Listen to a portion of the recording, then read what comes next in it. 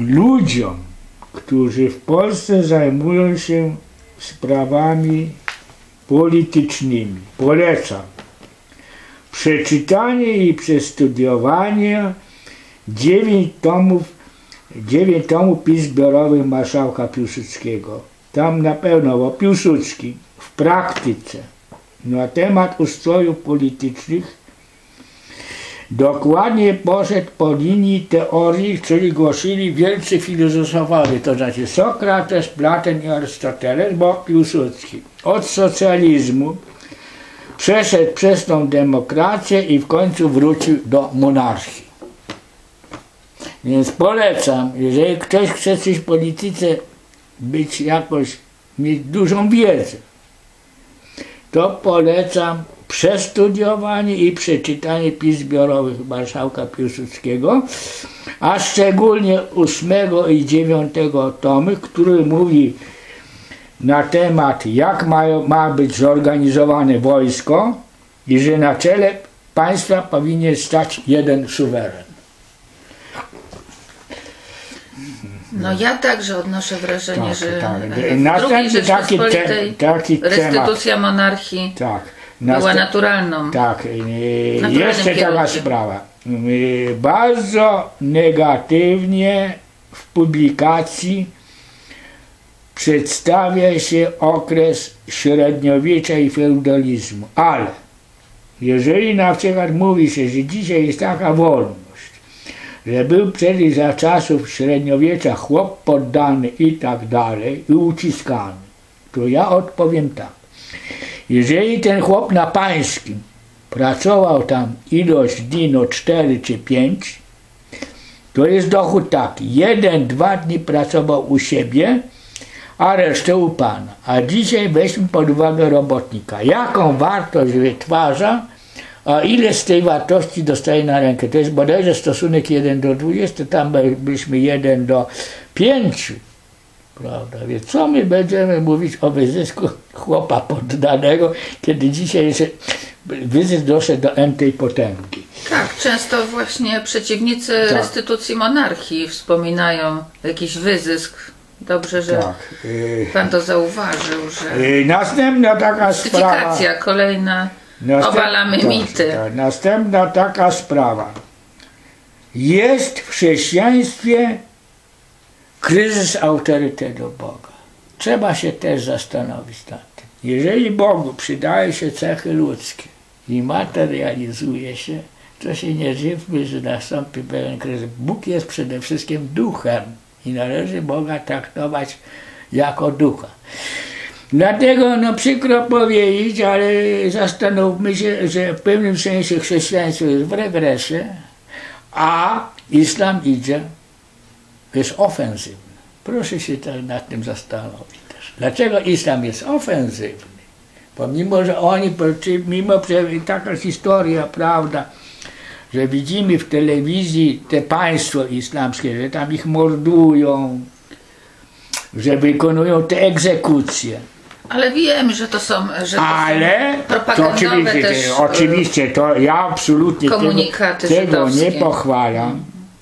A w jakim obszarze dokonuje się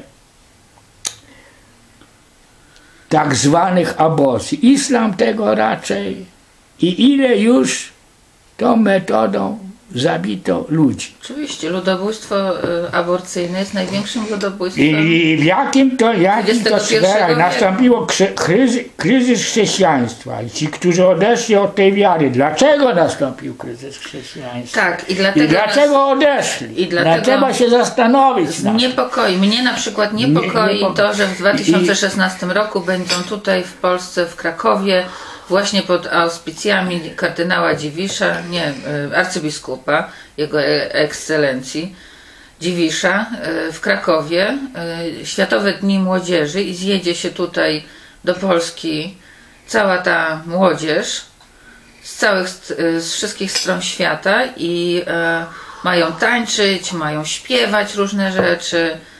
Teraz dużo się mówi o obronie życia poczętego. Kościół dużo mówi, ale nie ma odwagi żeby podać nazwiska i imiona list lekarzy, którzy dokonują tego procederu. Czy gdzieś się taka lista ukazała? Są kliniki aborcyjne. Jacyś to lekarze dokonują. Dlaczego tych nazwisk się nie opublikuje? No to jaka to jest mowa? Mówi się o czym? No niby w umowie się broni. No ale zdecydowanie w ogóle się nie mówi o tym podziemiu aborcyjnym, jak ono potężne w Polsce jest. Tak, co Ale moim, moim Nie, zdaniem jaki e, następny głównie temat? bieda i nędza jest Tak. powodem Tak. e, braku przyrostu naturalnego w Polsce. No, bym się poniekąd. Nie aborcje, e, tylko bieda i nędza. Poniekąd sprzeciwił. Dlaczego? Bo jak Polska szła pod zabory, to mo, nie mogę się mylić, chyba było 6 milionów, a jak Polska szła ku niepodległości, to było 8. To jakie warunki były w czasie zaboru? Też nie były. I jakoś to się dzieci rodziły, jakoś to się społeczeństwo pod zaborami. Nastąpił przyrost. No jakoś się rodziły. No bo, właśnie, e, bo nie Wiadomo, tylko- że tak, technologia jest- dzisiejsza, e, Tak. czyli antykoncepcja Tak. i e, ginekologiczne technologie bezpłodności Tak. i zarówno kobiet, jak i mężczyzn, e, bo można sobie podciąć na życzenie jajowody, ale można sobie też podciąć, e, mężczyzna może sobie nasieniowody Tak, podciąć na e, życzenie. Teraz tak. I takich technologii oczywiście wtedy nie było, ale generalnie nadal uważam, że bieda i nędza w Polsce jest główną przyczyną braku przyrostu naturalnego. E, teraz innej beczki. Mówimy o przegranej Polsce w 1939 roku. Wystawiliśmy około milionową armię. Ponad miesiąc żeśmy czasu walczyli z Niemcami. A ta potężna Francja, która w okresie międzywojennym się liczyła jako potęga militarna, szybciej padła z jednego uderzenia niemieckiego. Natomiast na tą słabą Polskę musiało być dwóch zbirów. Nie tylko ten zachodni, ale ten wschodni bolszewik. To słabiutką Polskę, do słabiutkiej Polski trzeba było aż dwóch zbirów. I przyczyny, dlaczego w 1939 roku. Mało kto wie, że my w 1935 roku wygraliśmy wojnę ekonomiczną z, Niemcami. Gdybyśmy nie podbudowali Gdyni, oni by nas zablokowali i zniszczyli gospodarczo. Ponieważ im się to nie udało, musieli nas rozwalać militarnie. Jeszcze jedna przyczyna, która sprowokowała Niemców do wojny.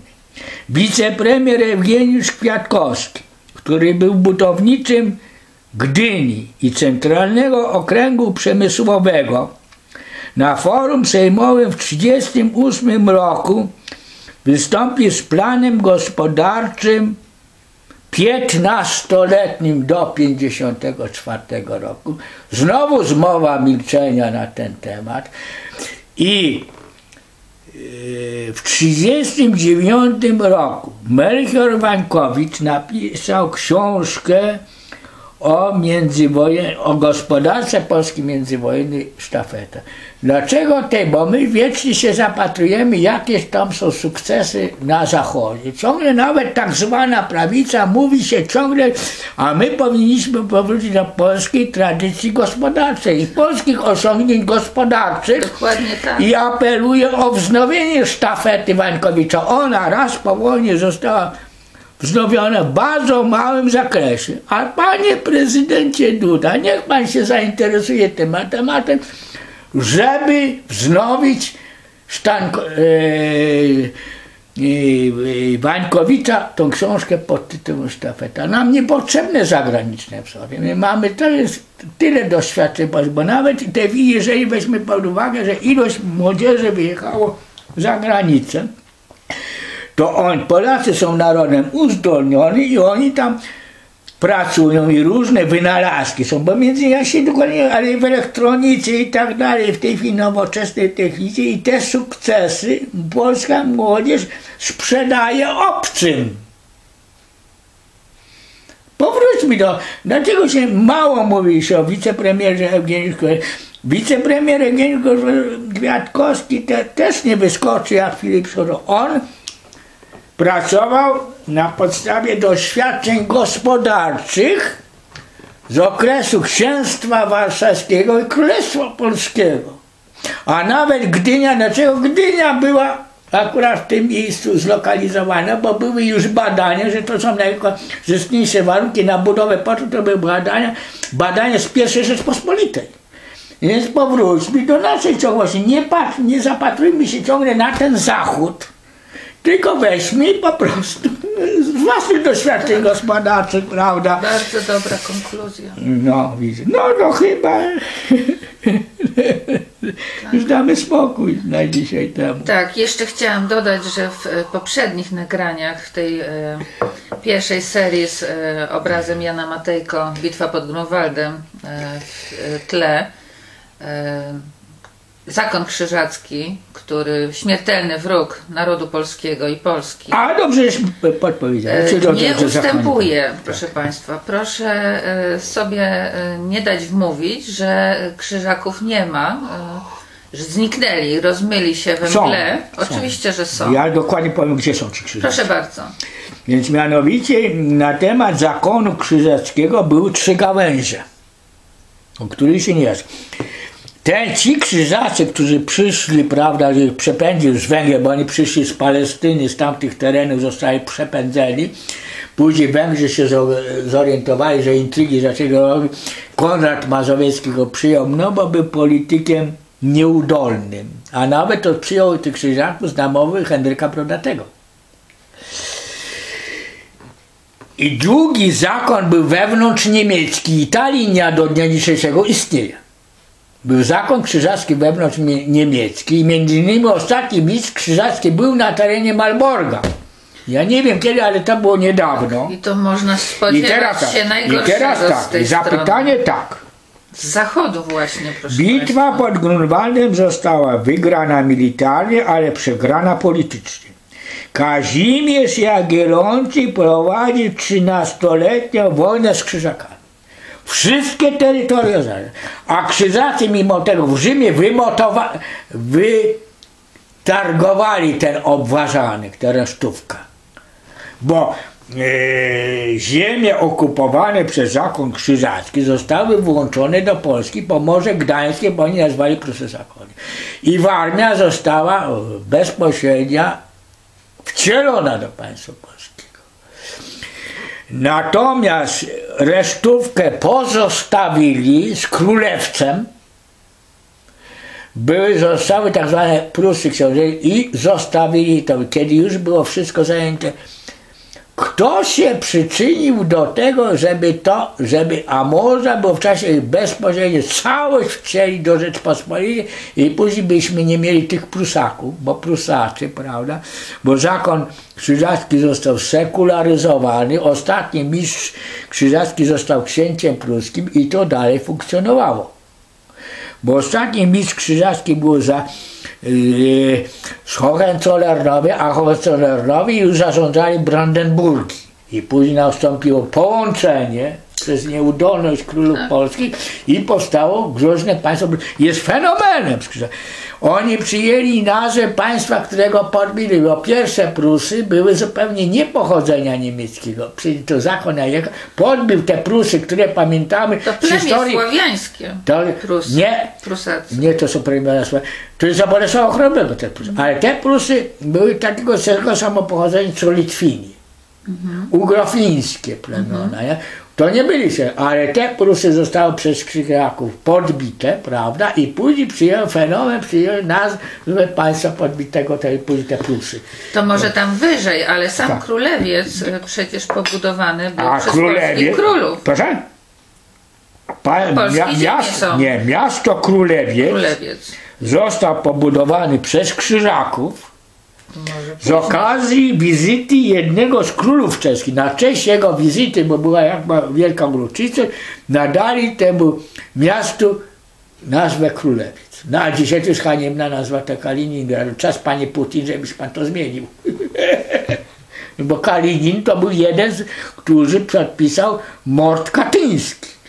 Kalinin to jeden z bolszewików, tak. i do dzisiejszego, jakżeż my używamy o Kaliningradzie, to hańba używanie tego. Powróćmy, bo, ma, bo, my, bo my mapy mamy powojenne, po 45 roku, że my, się nam mówiło królewiec.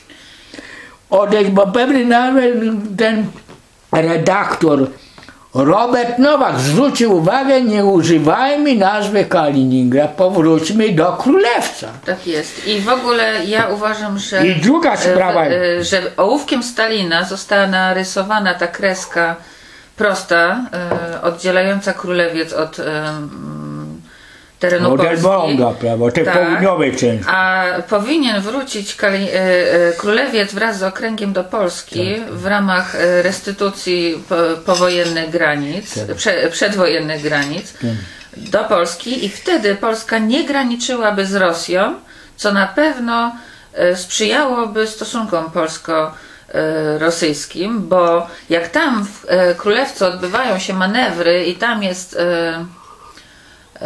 są żołnierze, uzbrojenie, mówi się nawet o nuklearnym potencjale e, w obwodzie e, królewieckim. O królewiec. E, To jest to zapalnik, proszę Państwa. Jest to, jest to zapalnik. I w tym momencie, kiedy e, Rosja wzięła sobie Krym, e, my powinniśmy tak samo zareagować i wziąć królewiec. Oczywiście to wymaga e, No dyplomacji. ponieważ E, tu Także panie elekcie Duda, e, jak najszybciej apelujemy na, do wizyty e, w Rosji i uzgadniania na przykład tego tematu, bo e, królewiec Mm, No dobra, my, jeżeli my w tej chwili mamy na uwadze problem rosyjski, enklawą, nie ma połączenia terytorialnego Tak, tak. z Rosją no przez Białoruś albo i przez dla. Rosji albo jest przez e, Białoruś także albo niewygodną e, kwestią. E, No mają tam ogromną bazę, prawda, Rosjanie. Jeżeli powróciliśmy do Rosji, to jeszcze jedną rzecz trzeba zauważyć. Była możliwość Unii z państwem moskiewskim. Hetman Żółkiewski pobił wojska moskiewskie Szujskiego pod Kłuszynem. E, Wkroczył do Moskwy, bojarowie mi utworzyli bramy Kremla. Nasza polska załoga już Żółkiewski ustalił, że carem rosyjskim miał być syn króla polskiego Zygmunta III Waza. Znowu stracona szansa. I kto się przyczynił do tej straconej szansy? Była możli- taka była możliwość Litwą.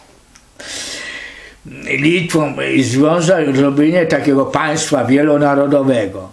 No i jak szczerze powiedziawszy była taka opinia, no przyjęliśmy na króla polskiego tego Jagiełłę, który w tym sensie, no może w pewnym sensie był tam jakimś, no nieładnie się wyrażę, w pewnym sensie niecywilizowanym, ale dzikusem. To same koncepcje było później, że do tronu polskiego mm, kandydował Iwan Groźny. Iwan Groźny na terenie Moskwy mógł różne cuda wyprawiać. Ale to by nie było, na terenie Polski na pewno by tych rzeczy nie wyprawiał i nie była wiele razy możliwość połączenia, prawda? Zaprzepaszczone szanse. Zaprzepa- I kto się to przyczynił? Jaka to była, czy nas w tej Unii wspierał Kościół katolicki. Dobre pytanie. Natomiast, na, y, natomiast jeszcze jedną rzecz trzeba powiedzieć. Na terenie Rzeczpospolitej wprowadzono tą Unię Brzeską, to znaczy tych prawosławnych, chcieli zjednoczyć tu z rzymskokatolikami i utworzyli Kościół grecko-katolicki. Ale ta Unia